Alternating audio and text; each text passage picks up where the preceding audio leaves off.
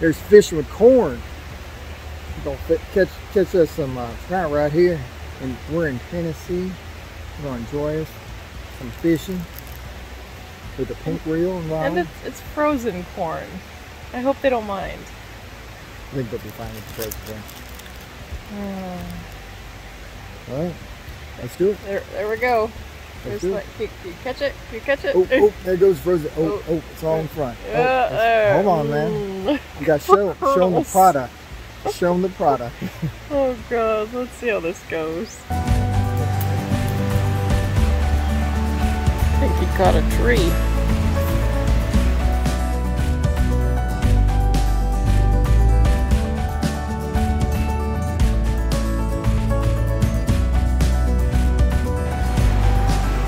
You're gonna walk all the way out to the middle of the water, the river in this case, just to get a better fishing spot, you probably want to have some extra bait with you. Because when the corn kernels fly off your hook and you need more, you have to come all the way back through with the freezing cold water, across the slippery rocks with your flip flops on, just to get some more kernels of corn. We got into Greenbrier Campground and lo and behold, to our surprise, drum roll please, there's a bounce house. they have two bounce houses at this campground. This one's an obstacle course, so you go through the whole thing. There's a slide at the end. The other one's smaller. It's just the slide. How do we feel about this? Um, I feel like there's gonna be injuries. Um, I think there's a chance that uh, ambulance might be called for me, uh, but we're still gonna do it. Nothing's really gonna stop us, so should be fun.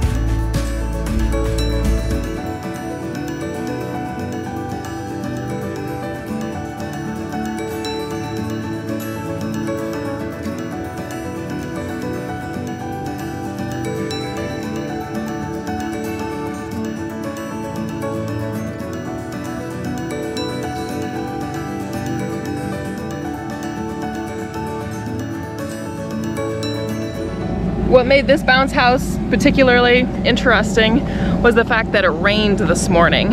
So It was a little wet. Ow. Uh, little wet. wet and muddy. Yeah. Yeah, I ended up having to take my socks off. They're soaked. It's uh, it's kind of gross in there, but No ambulances. Uh, one no, one injury, one uh, injury. Yeah, little, little, little scrape on the knee, but uh, That's an elbow. it's it's uh, little scrape on the elbow, but nothing. It's Yeah. fine. Nothing. It was good. Yeah, it was. From bounce houses during the day to sunsets at night. We're all over the place. Um, so where are we going? We're uh, going to Clingman's Dome. Um, it's the tallest point in, it's kind of in between Tennessee and uh, North Carolina. Technically, it's the tallest mountain in Tennessee. Uh, it's the tallest point on the Appalachian Trail. Uh, so we're going to be heading up there, and uh, it's about 6,500 so feet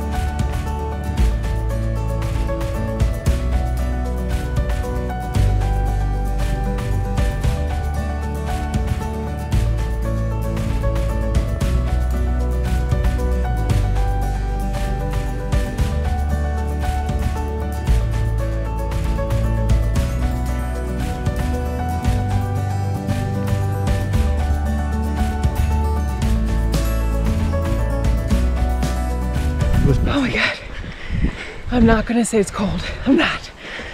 I'm thinking warm It's, baths. um, It's a little bit colder. We're uh, hiking up the Clingman's Trail, uh, which is the, it says like half mile to get to there. All trail says 1.2 miles total. So 0.5, 0.6 up, 0.5, 0.6 down. Pretty much at a steady incline going up. yes. And uh, the temperatures it out a little bit different up here Yeah. than it was down in Gatlinburg. No pets. There were signs everywhere. Yeah, no So pets are allowed. pets. It's uh, I thought I heard uh, that pets were okay. There's a lot of signs that says, Otherwise, "Yep, we've almost made to the top. Got a little bit longer to go." this is like a stairmaster on steroids. Hey, it's paved. Could be worse.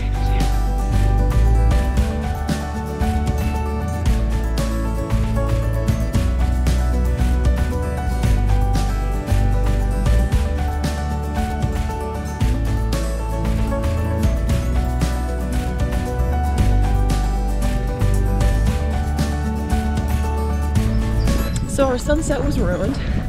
Uh, might be a cool video, but unfortunately the sun was hidden. Yeah, there was a lot of clouds uh, that uh, end up blocking up everything. It was fun. We had a good time. I think I have hypothermia. I'm still in my short, short sleeve shirt. I have all the layers on. I gave my long sleeve shirt to the wife. That's what a good husband does. We gotta get the pizza. We gotta get the pizza. We gotta get the pizza. Gotta pick it up. 9:30. It's gonna be ready. Gotta go. Gotta go.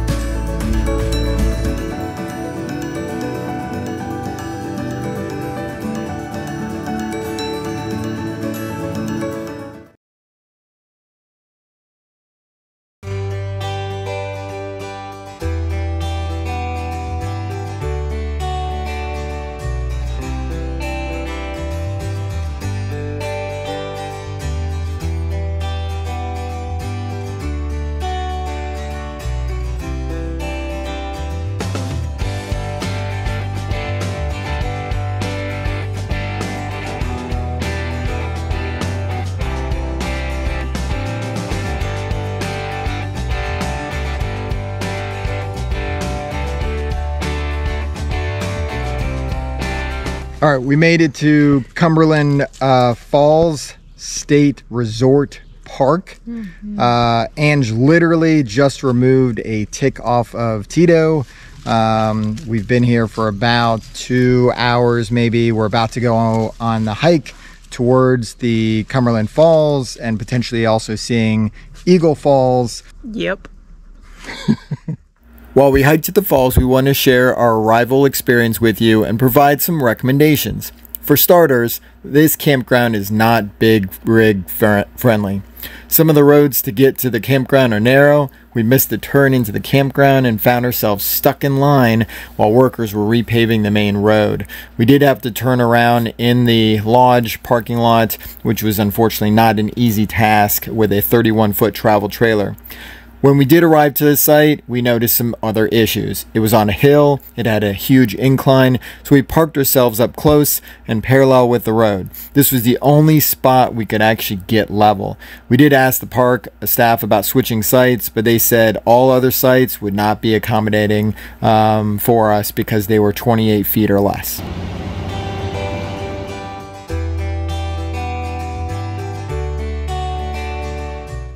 Tito is all excited for some green poop. He says, let me at it.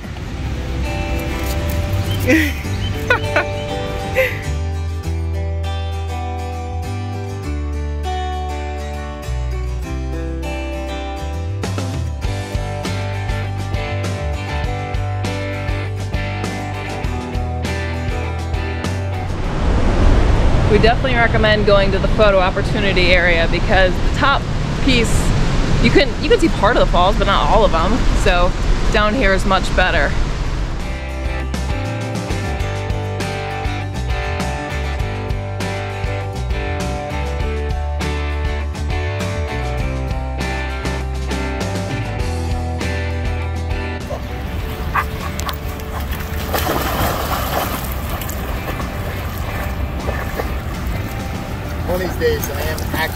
get pulled in.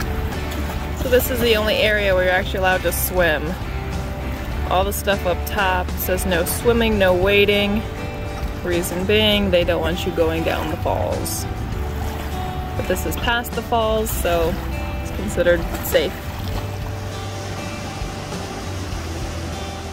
This is a really pretty state park. We're only here for two nights, so I don't know, we'll get the full effect. Today we just got in, so we have one day to do hiking, because tomorrow there's supposed to be storms. So we're probably gonna be stuck inside, but we have some computer work and things like that to do, so that should be fine.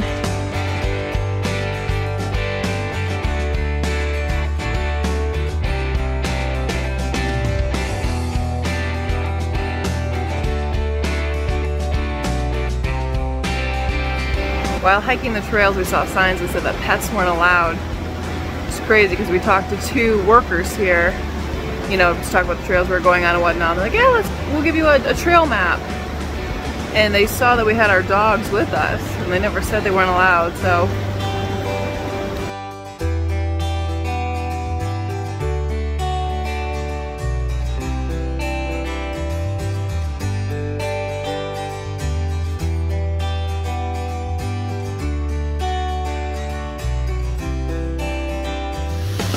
we made it. to Eagle Falls. Tito says I made it too. Even though I'm not supposed to be here. Yeah, so we made it to Eagle Falls. Uh, here is Eagle Falls. Uh, the trek was pretty challenging at the end. A lot of boulders, a lot of rocks to climb around, uh, a lot of steep stairs. We saw someone that was close to double our age, and uh, they made it down here. So it's all about the journey. It's not about how long it takes to get there. and there's a lot of stairs. So there's like concrete stairs, there's metal grate stairs, there's rock stairs, there's homemade wooden stairs, you name it, there's all kinds of stairs.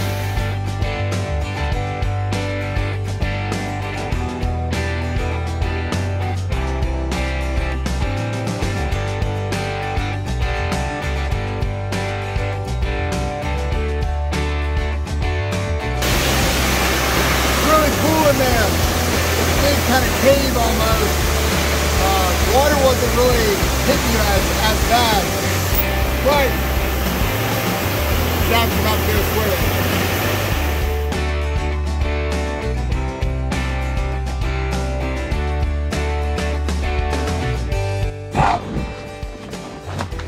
When we hiked to Eagle Falls, we didn't drive. We wanted to just, you know, hike right from the campground, which we were able to. So we connected from Trail 2 to Trail 4. You have to cross the bridge. Um, the problem is the trail, there is no trail there. So you have to go along the, the road, and the road has no shoulder. And there's a guardrail along the road It's, um, you know, for part of it, so there's no room for you to fit and cars are coming pretty fast. We, we were actually shocked at how fast some of the cars were coming around that curve. And then here we are, and you know, along the side. Um, when we were talking to some of the staff here at the campground, they made it sound like, oh yeah, sure, you can go right from Cumberland Falls, just go over the bridge, and they can get to Eagle Falls. Yeah, no big deal. Didn't even say like, hey, you're gonna be walking in the road, and there's no place really for you to walk. So what we found out, it's probably better just to park your car at the trailhead and then just hike there on the trail. Don't try to walk across that road because it's not even that busy right now. And we were still dealing with cars flying around. So Just in case you wondered if this was always all sunshine and glorious weather all the time, there's times when you have to fill up the tires. Uh, there's times when you have to fill up the tires in the rain. There's times when you have to dump in the rain. So just want to give you a heads up. It's not all glory all the time, but you know, you make the best of it and uh, sometimes you get wet. I mean, you're out in the wilderness. It uh, definitely happens.